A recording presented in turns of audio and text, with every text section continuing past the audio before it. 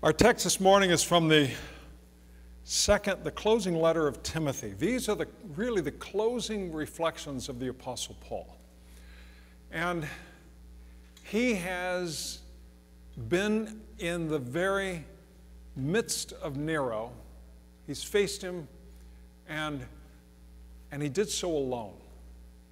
And now he's basically rotting in a Roman prison, and he is abandoned he's all alone.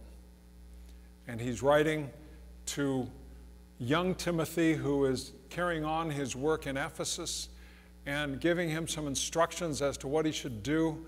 But he's, this letter of Paul's is not like a lot of the letters where he's writing to the whole church. This is sort of the unalloyed letter of one who is really laying it out there where, where, where Timothy, in a one on one relationship, where Timothy can really understand what he's saying. It's a tough word. And yet it's a word that's full of passion and full of a sense of his being at the closing days of his life. He knows his end is coming. Hear the word of God as it comes to us from the fourth chapter of 2 Timothy. I solemnly urge you in the presence of God and Christ Jesus, who will someday judge the living and the dead when he appears to set up his kingdom. Preach the word of God. Be prepared, whether the time is favorable or not. Patiently correct, rebuke, and encourage your people with good teaching. For a time is coming when people will no longer listen to sound and wholesome teaching. They will follow their own desires and will look for teachers who will tell them whatever their itching ears want to hear. They will reject the truth and chase after myths but you should keep a clear mind in every situation. Don't be afraid of suffering for the Lord. Work at telling others the good news and fully carry out the ministry God has given you. As for me, my life has already been poured out as an offering to God. The time of my death is near. I have fought the good fight, I've finished the race, and I've remained faithful. And now the prize awaits me, the crown of righteousness, which the Lord, the righteous judge, will give me on the day of his return. And the prize is not just for me, but for all who eagerly forward, look forward to his appearing. Timothy, please come as soon as you can. Demas has deserted me because he loves things of this life and has gone to Thessalonica. Crescens has gone to Galatia, Titus to Dalmatia. Only Luke is with me. Bring Mark with you when you come, for he will be helpful to me in my ministry. I sent Tychicus to Ephesus. I sent Tychicus to Ephesus. When you come, be sure to bring the coat I left with Carpus at Troas. And bring my books, especially my papers. Alexander the coppersmith did me much harm, but the Lord will judge him for what he has done. Be careful of him, for he fought against everything we said. The first time I was brought before the judge, no one came with me. Everyone abandoned me. But the Lord stood with me and gave me strength so that I might preach the good news in its entirety for all the Gentiles to hear. And he rescued me from certain death. Yes, the Lord will deliver me from every evil attack and will bring me safely into his heavenly kingdom. All glory to God forever and ever. Amen. Give my greetings to Priscilla and Aquila and those living in the household of Onesiphorus. Erastus stayed in Corinth, and I left Trophimus sick in Miletus. Do your best to get here before winter. Eubulus sends you greetings, as do Pudens, Linus, Claudia, and all the brothers and sisters. May the Lord be with your spirit and may his grace be with all of you. May God add his understanding to this hearing of his word. So this morning I was brushing my teeth. I know you're glad that I do. But I was thinking about the fact that I brushed my teeth the same way all the time without even thinking. I know you're supposed to do it for two minutes or something like that, but I, you know, mine is probably 45 seconds or something, but I, I, I was thinking about that. Now, let me, let me have you do an experiment. Cross your arms. Now do it backwards, do it the other way. I, it's almost impossible to do. we have our patterns, we have our ways of doing things, and we do all kinds of things without thinking. And those patterns that we enter into become so much of what we do in life. So this morning, rather than coming down Goodlette, I came down the trail. Sometimes I'll come down Livingston just to break it up a little bit. I still don't know how to change the way I brush my teeth, but I'll come up with something. We have our patterns. And sometimes the best things in life can be when those patterns are broken, when we have to change the way we do things. God willing, it's not because something has been forced upon us. And that happens to all of us sooner or later in some way or another. But when we can stay open to different ways of behaving, which issues from different ways of thinking. Remember when I was in seminary? Every day at 4:30, I'd go to the uh, go to the gym and play handball. And um, Nobody plays handball anymore, but it's, it's a great game, tough game. And uh, I play for about an hour and a half. And after playing, I would go to the, go to the, um, go to the dining hall and eat dinner around those round tables where we'd all argue theology and all of that sort of thing. And I sat down with one of the precept leaders, a PhD student who was leading one of the precepts in our theology class. And I got in an argument with him.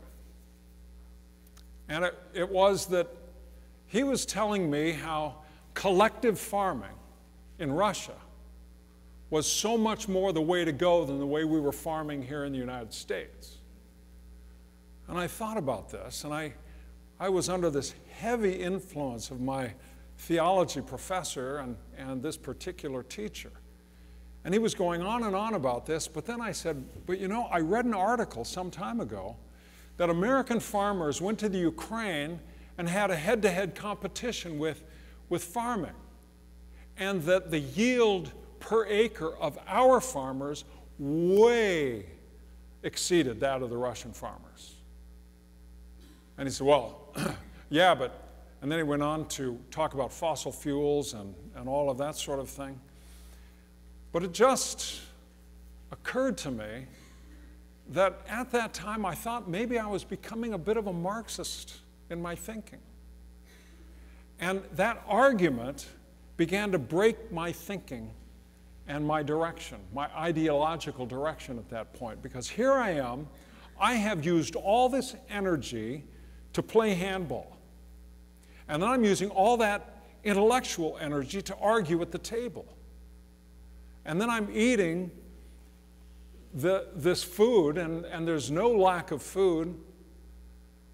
And who am I to be receiving such goodness? And who am I to be expending such energy? In, in an ideal world, shouldn't all this be evened out?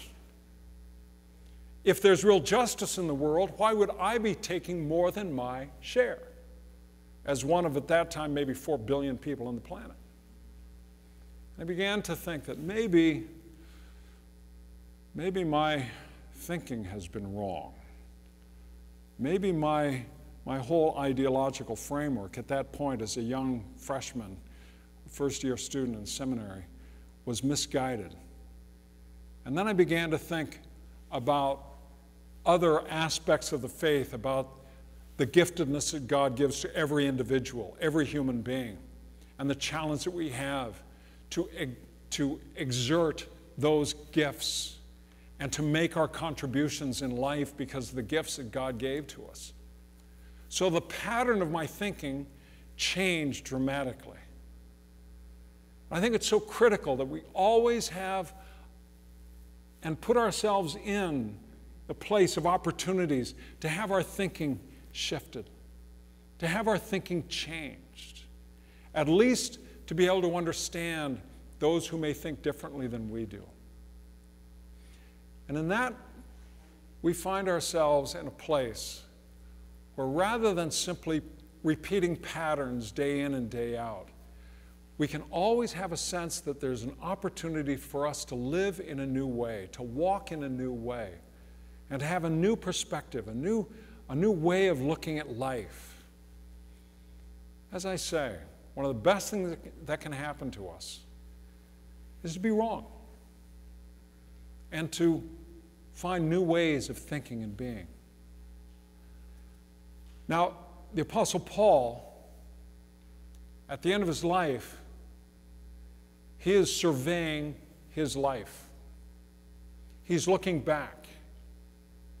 And he is in a place where he's thinking over the realities of the number of times he's been arrested, he's been beaten, they tried to stone him twice, thrown in jail a number of times, and he's in jail now, and he, he feels like he might be an embarrassment to those around him because he's in jail. And he's wondering about the course of his days, wondering about the choices he's made. And here is young Timothy. Timothy may be something in the neighborhood of 30 years younger than Paul. Paul is probably in his mid 60s at about this time. And Timothy is the, the one who's coming up behind him. Now, what does Paul do? But he tells him to do the important things do the most important stuff with his life. And the emphasis is to preach the word. Timothy is in Ephesus where there's all kinds of wild, crazy thinking, all these Greek mythologies, and then on top of that, he's got the, the Jews who are opposing him, and then Jewish Christians who think that, that everyone has to become Jewish before they become Christian, all this stuff. And so he has the responsibility of trying to bring correction, trying to change people's minds, trying to change their patterns, try to change the way that they, they live their lives by changing first and influencing the way they think. And the way they think then can issue in the way they behave. So that's the challenge that he has. And, and so, in the midst of that kind of challenge, Paul simply says, just preach the word. Stay steady. Do the work that you're called to do. And those words are so fundamental and true, so basic. Stick to the fundamentals.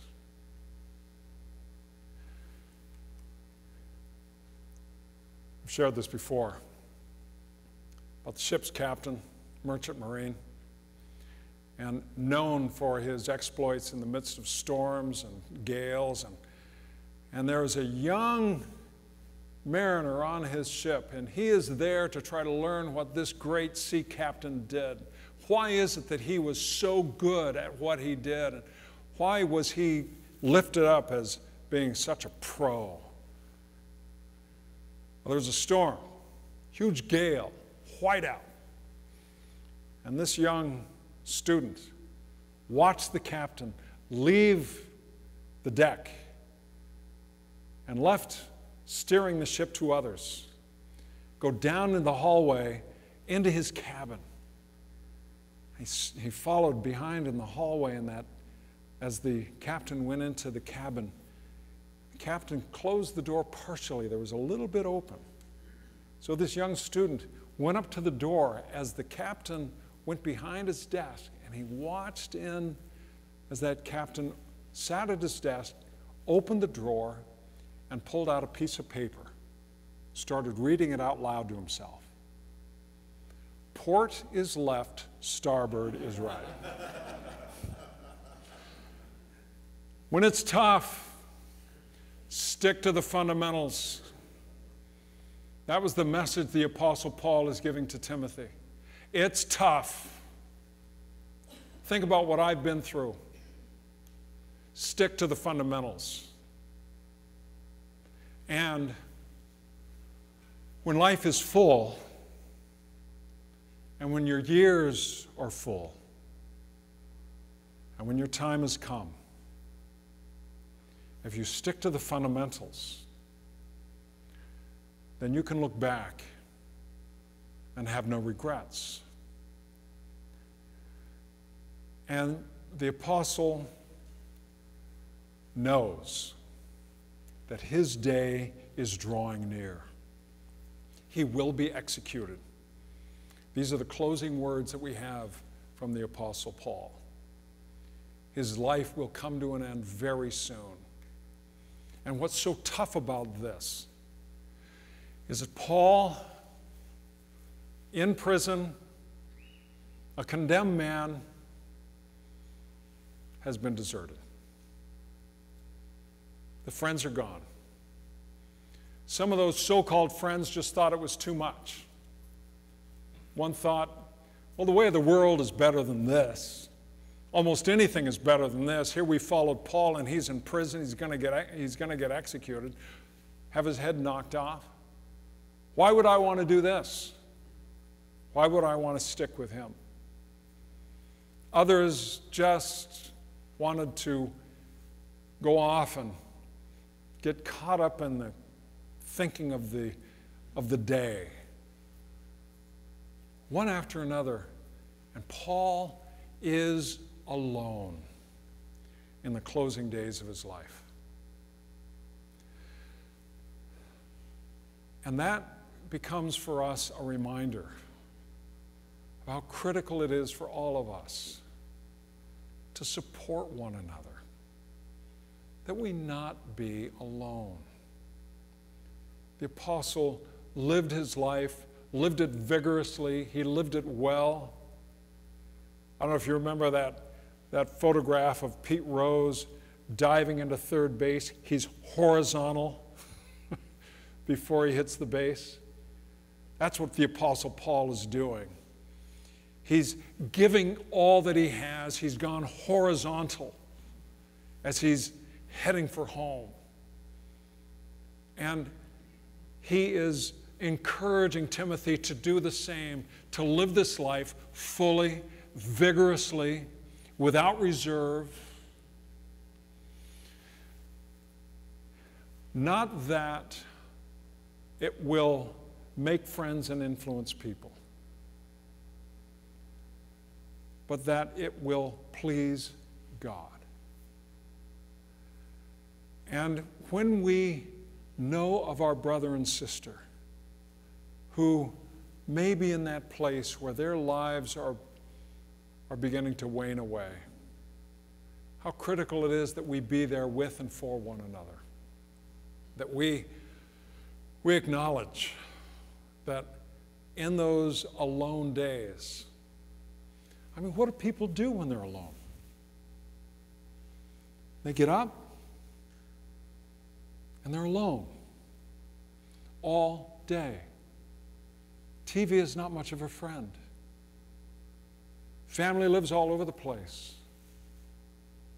And the day goes by, and maybe it's a peanut butter and jelly sandwich in the middle of the day, but alone and, and isolated. And how critical for us to be aware of one another and the, the affliction of being alone and the consequent loneliness that comes with that that we be there for one another. I was privileged before we lost our dear brother Peter Thomas. I was privileged to be able to visit with him on a regular basis over a two year period of time. Peter, who was still working at, at uh, almost 90 years old, stumbled forward on on his way up to his studio where he was reading. And, and he fell forward onto his knees, broke both hips and vertebra in his back, and it laid him up for the last two years of his life. But there at Moorings Park, when people would visit, he, he made them feel like they were so important he continued to do what he had done all of his life, and that is ennoble others. Let others know how important they were. Peter, who went into Normandy the day after, arrived to see the carnage on the beach, and after the experience of the Second World War, he had so much honor and respect for those men who had given their lives that he spent all of his days driving a Jeep honor them, to remember them. And in those closing days, he, he gave himself for others. And every now and then I'd come across somebody who was leaving, and they always had a bit of a smile on their face. And there was always some kind of a comment What a man! What a man. When we spend our days, when we practice, when we develop the pattern of giving of ourselves, of extending our lives into the lives of others, of recognizing the beauty, the magnificence, the, un- the uniqueness of the other. When we give ourselves in that way, when that time comes where we face our own alone time, maybe it won't, won't be quite so lonely. Maybe the pattern that we have established will be such that we can look over the days of our lives and be grateful that we had an occasion to give of ourselves in so many ways.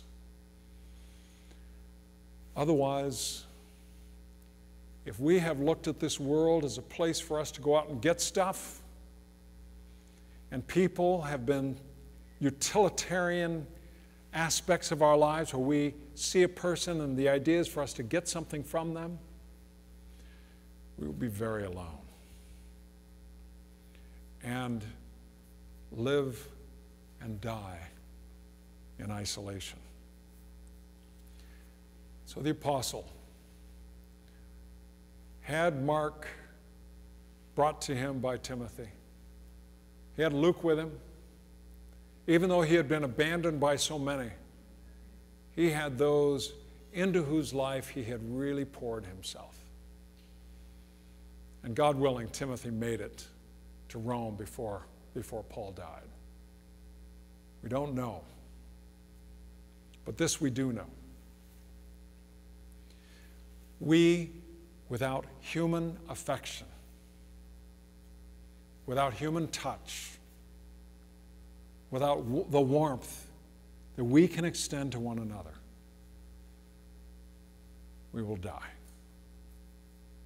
And it will hurt. And we will be alone. So, the challenge for all of us is to always reach out, to speak, to, to love, and to touch, so that we can know that wherever we are in life, we're not alone. Will you bow with me in prayer?